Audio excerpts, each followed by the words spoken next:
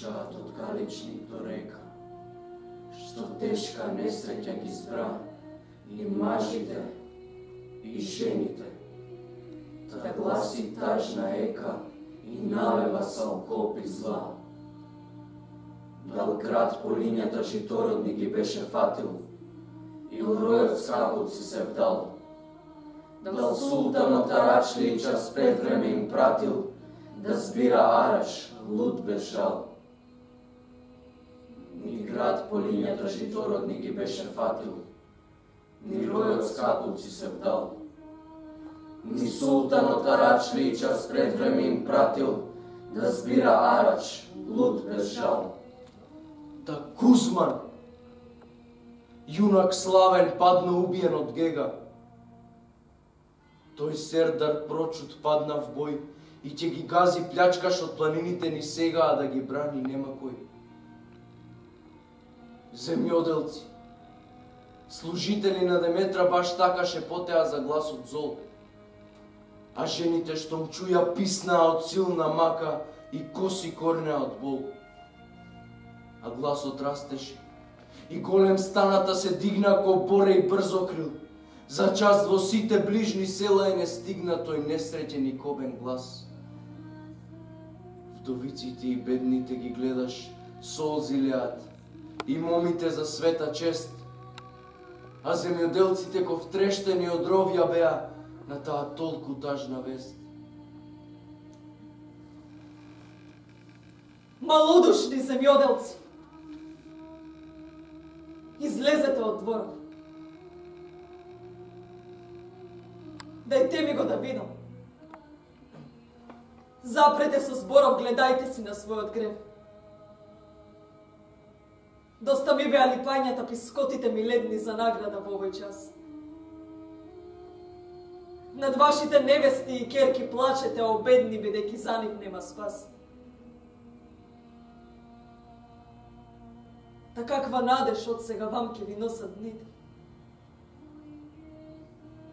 Го нема кутри Кузман ваш, кој како своја зеница ве чуваше вас сите и крајот свиден роден наш. При викот мајчин народот стаписано се стресна и не изипати стори мал.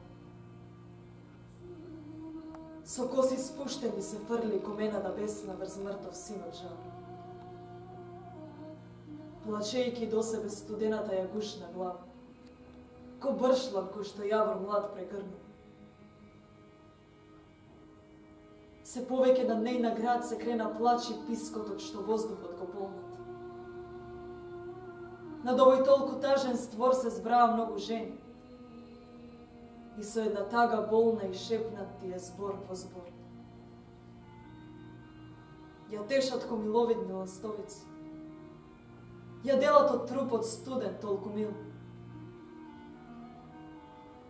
Кој глас од женски може да го слуша мирен? Велам, кој смртен толку корав бил?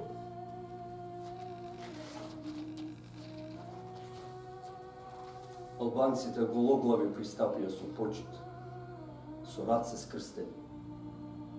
Тој час најстариот се доближи в земји удри очи па прошепна со искрен глас. И везден ти да плачеш, имаш зошто. Ти изгубио мајко, джин. Народните ќе пеат колена со уста милна за делата на твојот син. Да слугите на Арес ке го слават мајко сето тоа што тој го сторил во подвиг смел. И сите певци ни светот ке те слават со еден занес толку врел. Ако сакаш почуј, немој солзи да те душат, ке раскажам што знам за се. Знам тешко е за херојство и подвиг да се слуша. Се молкна. Сегде тивкоја. Пуштајќи го денес и на волја гласот чета од стомина сврати во стан. Но да дадеше Бог да не тропнеше часот смрт што на сите им прати. Зар некаков демон кон пропаста стрмна не турна? Браќата мои, под ридон корибите насуво тогаш во борбата бурна да се препелкаат видов. И мајка над синот и жена над мажот ке кука, ке го оплакува мрачно. А ние одбачило што се наоѓаше тука грабнавме овно бијалчно. Се спуштија други во стан и по куќите вични вараа пченични левови. Доведоа оттаму десет ергенчи јанични. Некој да служи ни треба. Но Господ на робијето виде од вишното небо колка фенивниот ужас и нададе уши стенчиви од глас да го слушне. Плачот на тие што служат.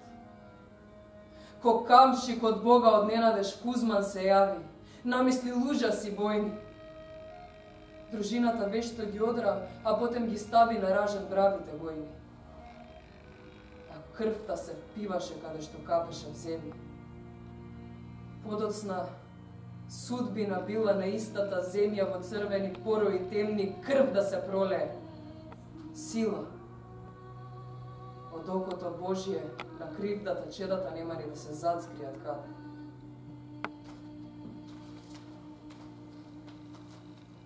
Блескавото сонце се беше искренало право над нас на небото. В бесен, од ненадеж среде виковите диви се јави коњик со јунаци десет. Албанецот решија злочинот да им го плати. Кузман ги запре со глава. Им влеа тој храброст и веднаш ка гласник ни прати. В борба не викаше. Страва не минеше од нас. Од смртта исплашени тога изедовме оружје враг. Чувствувавме дека ни мрзнеше крвта.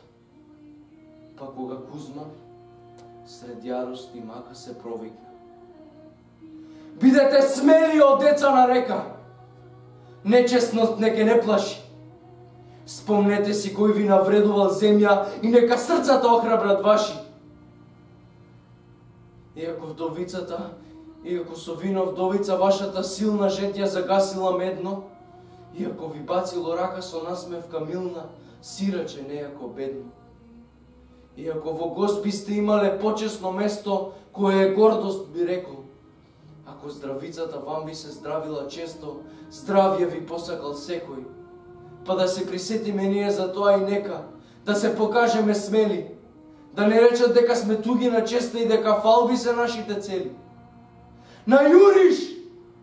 Судбината ни е во скутот на Бога скриена иста и сретна. Тој викна и разбуди смелост кај сите.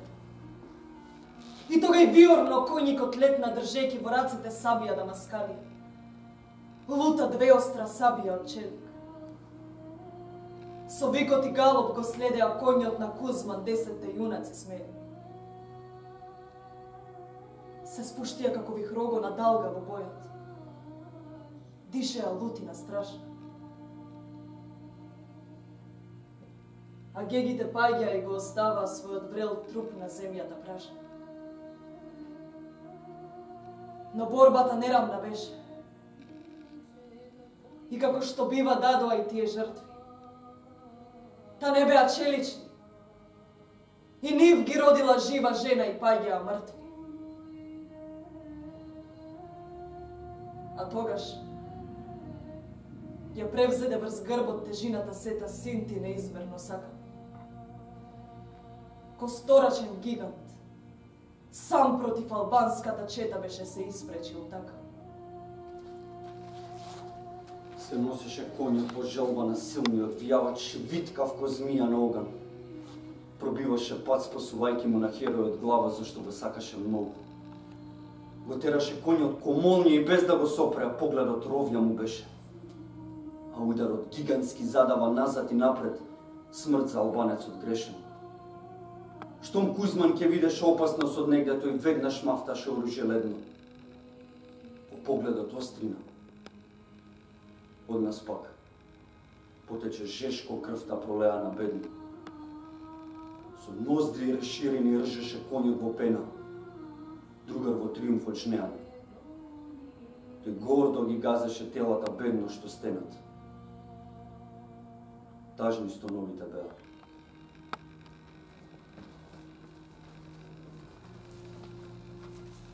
За таа наша пропаст жал на Махмуда му стана. Се спушти како орел тој, Разбеснето со шпорите тој шибна конја врана. Со Кузмана да стапи в бој. Спроти го се исправи. Под црна веѓа густа од маздата ја собрал, бран. Тој зеде враце оружје огнодишни, а в уста стегајки остар јатаган. Од двете оружја се слушна пукање и сетне два куршума со пискот зол излета, барајки месо. Едниот го сретна и Кузман сети силен бол во рамото. Кај одлево клучницата со зглобот лопатниот го крепи дел. А другиот во правта закачи, свирејки злобно, но без да сретне жива цел. И Кузман горчлив насмев сал на својот враг му брати. Се исправи на конјот жив, та дурна Махмут му се заде јатаган да фати и спреварен му зајде здив. Ја крена Кузман сабјата, па одлево и кратко ја замавна врз врагот клет. Но на место кај што гордо, гркланот на телото на вратот, се подал сет не се спротистави ко скената и јака маса на секот. Што во овој миг до мишката, делејки меса сосем лесно стаса. И Махмут пушти грозен крик. Да, така дрвар лесно всече гора гранка здрава. Од дабот толку силен, стар. И прво падна раката со таа руса глава на мојот храбар господа. А потем падна и се урна снагата му цела. Врз оној грозен, крвав куп. И бликаше во струи крвта врела од уште топлиот му труп. Јуначкото тело на Кузмана беше од рани, лути и шарано цело, што беа се пробиле лесно низ ребрата збрани. Седов на трешните делови. Од крвта ненаситен се уште водеше битка, лутина гневна дишејки. Од раните бликаше крвта, но се уште бритка, мафташе сабија без неги. Но кога му пресекне изворот животен, тога и глава тој спушти и рече со шепнење некакви зборови нејасни кога шумно од конјот се свлече. Под секи радабот што бури победувал, така смртно подрани се веде. А потоа паѓа од мокината дрв... дрварска рака. Ама врз дрварот беде. Бидејќи тој падна со своите, бранејќи ја сонив херојски земјата мачна а некако злосторник кога те мида го гони, фрла во јамата мрачна.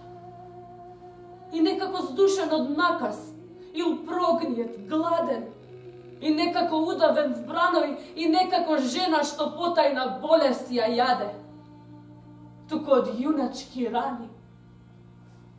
Да, не од недостојна смрт. За насилнички дела отплатник беше знаејќи да одмазди смртно за својата дружина цела. Голем страв сегде ширејќи. По страшната борба, тој отепа не еден гега. Јас ке ти раскажам за нив. За нашите најарни херои, кои подлегнаа сега сите под лутите рани во борба, непобедлив широко широкоградиот Јакуб, кој што со подвижно слесна за папукот Карала беше го фатил, ко камен од земја беше го треснал, утробата сал му ја историл. Потоа руши. Сиот во позлата бојна од чија што песна и свирба трепереа уши. Опитен човек во војна и Селман брадатиот. Татко му кому му пратил поздрав без веќе да жали, бидејќи за крвта на брата си беше го фатил. Глава му одзел на Али. И Ахмет, Од сонцето спален кој обесил така некој си кадија грешен. Врз комшиска жена кој ставил изгнасена рака да ја обесчести решен. Абдурахман, куршумчи наместо секогаш паѓал, најди му рамен во светот. Со сигурност некогаш безгрижно гадјал малечки птички во летот. Моловниот куршум не погоди овој пат ништо. Сиот избезумен мажи да паѓаат виде. И падна во вечните сништа. Остави мајка да тажи. Чанјок го стопримив куќата чија што често беше во секое време за секого отворена.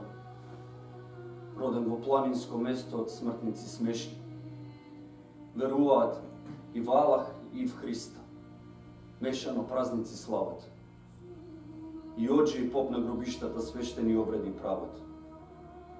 Па син му на Абдула, Елес, кој да не чуете лагав надпревар кога ќе спесне ластовичка беше. Без молку да остави трага в правта под нозете лесни. Но ни молку не му помогна нозете ете. И животворните зраци изгасна. Остави млада вдовица со дете. Малечко детенце враца. И најпослед, дивиот Махмуд кој во се што беше бик меѓу стадото бесно, Го викавме војвода, Господ. Штом ќе нумеше нешто, веднаш го вршеше лесно. Нам водачи тие ни беа. Без Бог да ги штити, смртта ги онесе ледно. Јас не можам да ти ги изредам сите жено, па ниту да слушаш ти седно.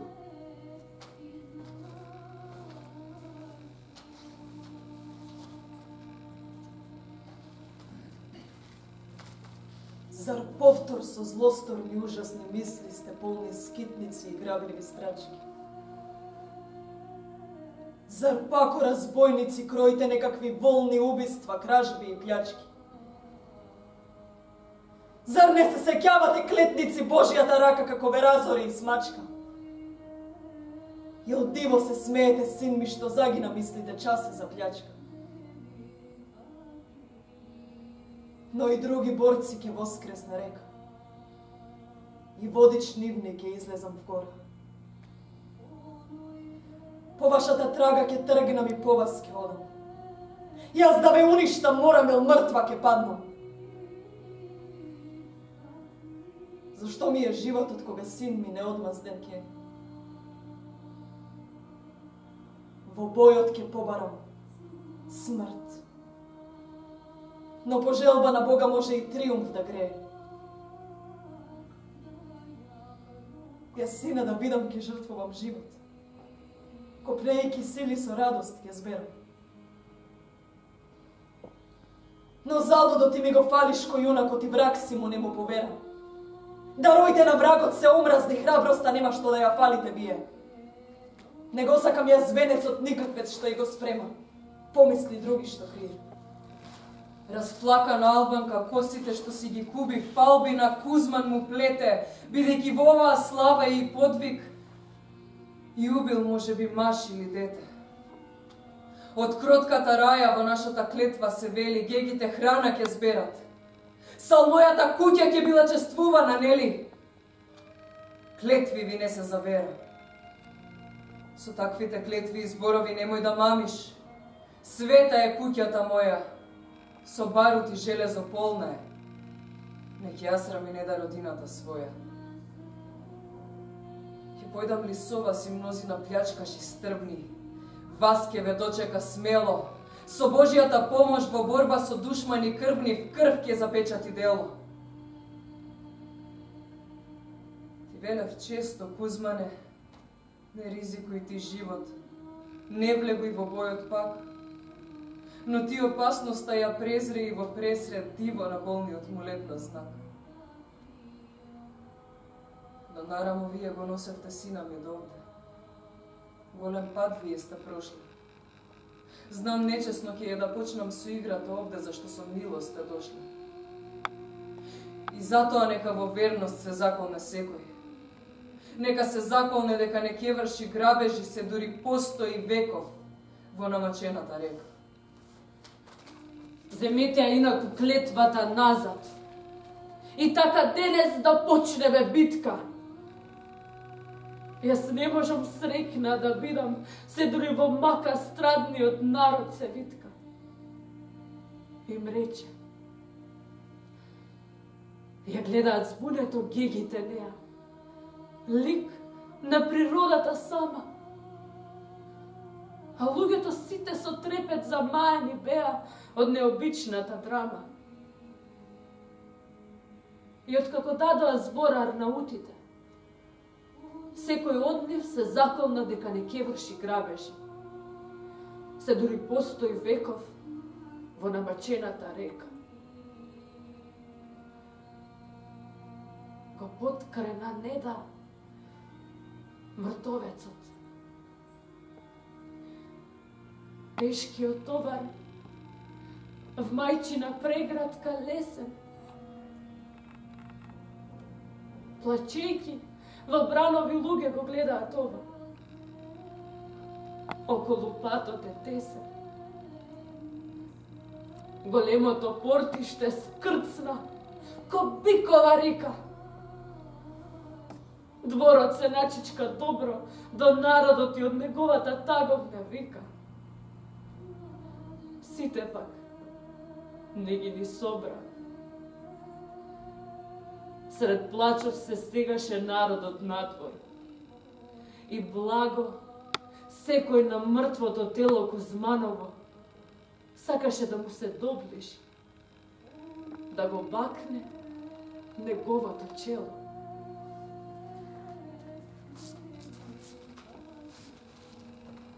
гроб темен испратила мнозина фоти на хлеб.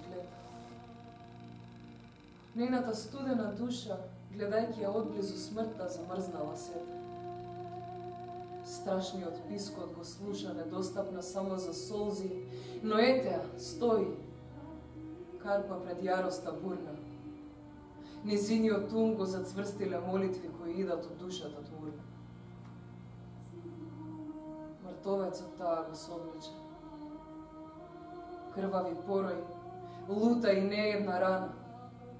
А мајката браздите кога ги виде без борој ко поулавена стана.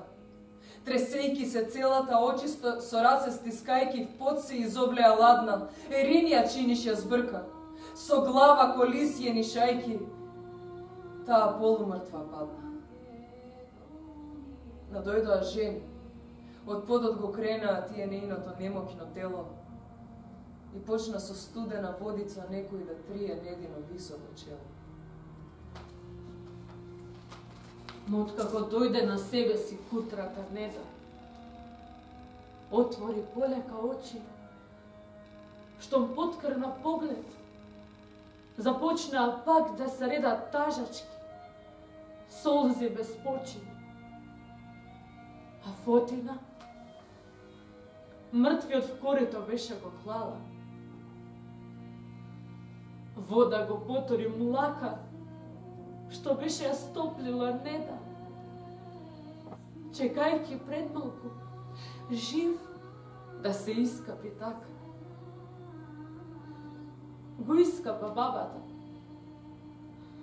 Додека го вршеше ова среде тишината темна, монотоно сите ги редеше макина и ова.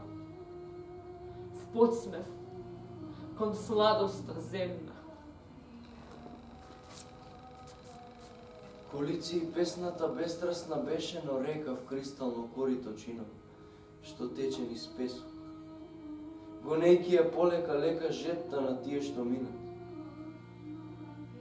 Баш така, Библијата како со балсам ги слади неутешните гради. Зборовите параа срце на тие што таму собрани беа, а само утехата стои пред кутрата мајка костена. Болката неа ја скрши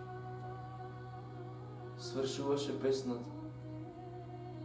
Ама и опитната жена со капењето сврши на многотажениот мртовец, херој од река. И Кузмановото тело се провикна за да го кренат. Па видоа дека телото цвет беше бел.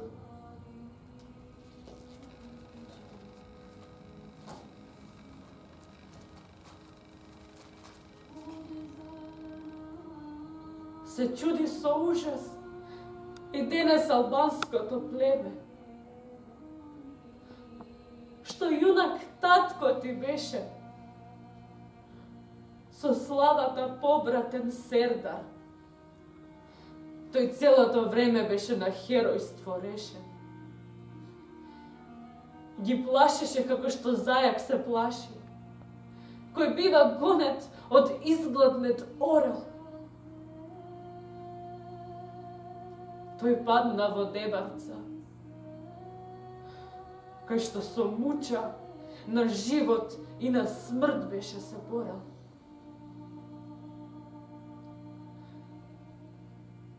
Ти остана детенце, утеха една во жалост, бујно кофиданка в гора. За подвигот татков со восхити, иако мало сакаше јас да ти зборам. Штом слушаше ти за неговото убиство, твојот поглед пламнуваше в ужас.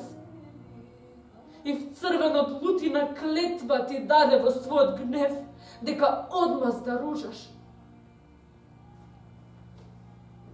бегајќи од шумот на твоите врсници.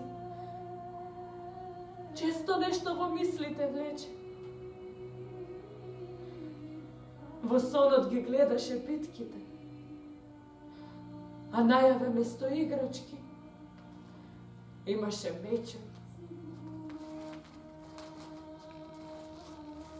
Со опашан, тежок меч често те гледав да шеташ пламено нешто шкнејки. За убиства жеден те гледав кај виорно леташ невидлив бојти водејки. А откако порасна направи дела од кои душмански племиња в страв се стресо. За тебе слушнав од душмани твои фалби што тебе те слават. Штом татко ти загина, сабијата твоја ја прероди река. Копиле што пиштела во орлови ногти во кои гега ја навредил сека домакинска куќа. Ти брзаш, сине мој, да земеш венец од лаври во крајот на блаженство. Кај што не се знае за болка и време. Каде што таму, во рајот, од приказни можеш да сретнеш задоволство Песни се нижат од гласој што не ги чул до сега смртник. И безкрај. Колку векови минат ко часот.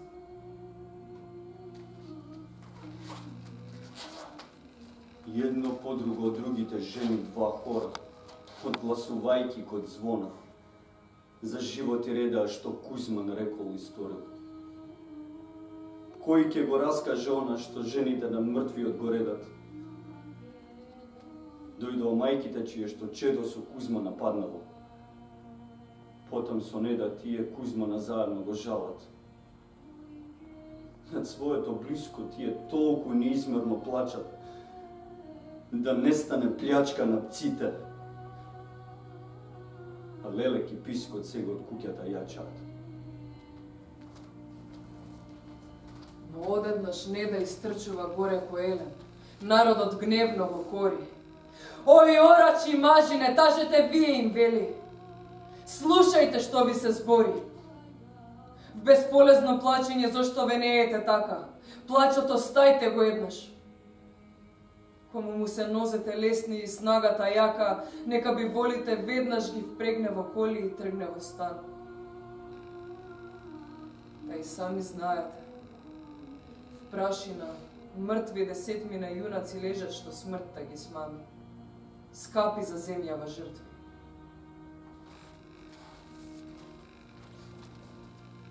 И впрегнаа три чифта близнаци, биволи црква чесно молејки се Богу, стигнаа се до планините стрмни толку надиплени многу.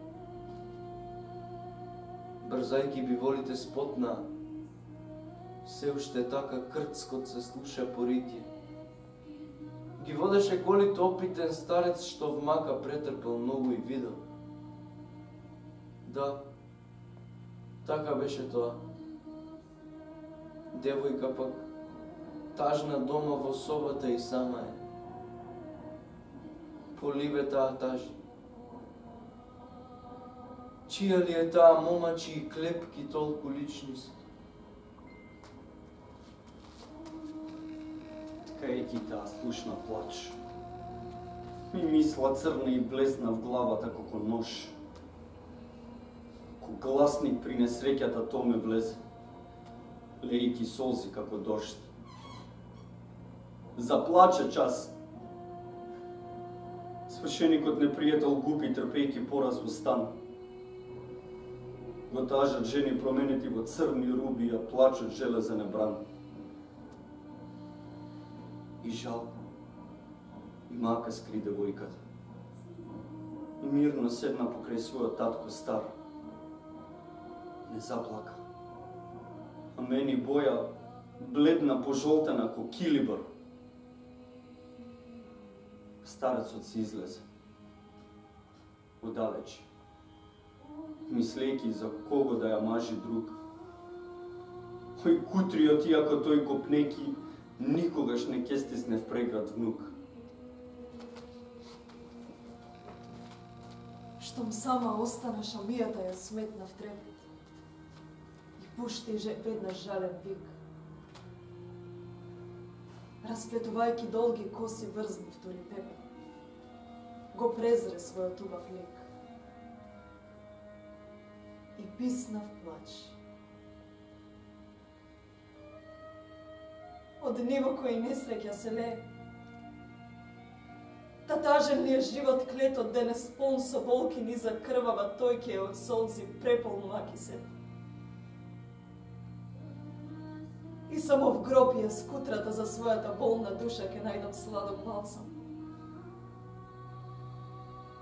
Ти, одали свршеницата се своја ја слушаш? Те прашам. Кај ме напушта. Не ке видам да носиш на конјот трофеј боен. Да стигнеш гордо в роден крај.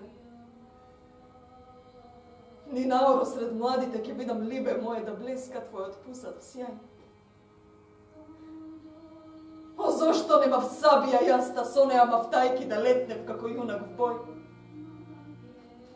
И место тебе стрела албанска пречекувајки го заштитник да падне в твој. А гегата крволочен јас, без накомена да би го раскинала со зап. Но што? Од огнот борбен момата се плаши влада. Незиниот мускул слаб. Со жешки солзи молби Богу пратив пред светиот му мојкен трон. И може Отецот на светов жив да ми те врати, што мојот ке го чуе стон.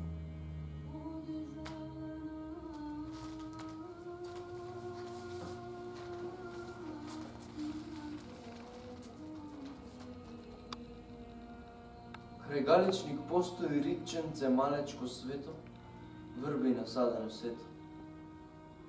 И шумоли поточе брзо око змија течејки, кристални води лејки.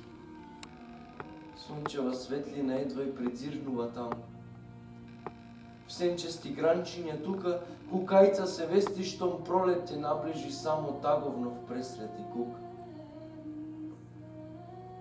Творбите мајсторски стари не даваа таква гледка. Темјаник, символ на тагата сега на него цари. Цутив убавина редка. Под килимот послан темјаниките сини ги покриле гробовите ледни. Не ја гледаш земјата од ними што толку ти израснале густо. Под крстот од мермер, од страната западна еден отвор се наоѓа мрежата Без престан кандилцето блеска, со пламенот бледе. Кузман од плочата лежи. Кај плочава годишно еднаш, девојките седат в коси со темјанки пресли. За херојот Кузмана медно, милозвучно редат фалбени, јуначки Низината Незината свената убост над расото куша пријатност голема свети. Од погледот неизин во својата благородна душа секој млад мечти ги сети. И печатот во него жалта ја изразил жешка. Жалта што нема да мине. На челото светло се одрази тагата тешка. Срцето таа го Калугерка, таа. Тешко нажалена Богу служи за тешката рана. Румената лика од болката и свенала многу. Лицето восоки стана. И почна од луѓето да се отуѓи. Веднаш мисли да потоне знам. Си шепнеше сам. И сите ја сметаа бедна, заполавена да е. На густа двоструна свирејки покрај патот седнат, го пее ова просјак сет. А јас пак, прост запишувач, минејки тука еднаш го запишав од ред до ред.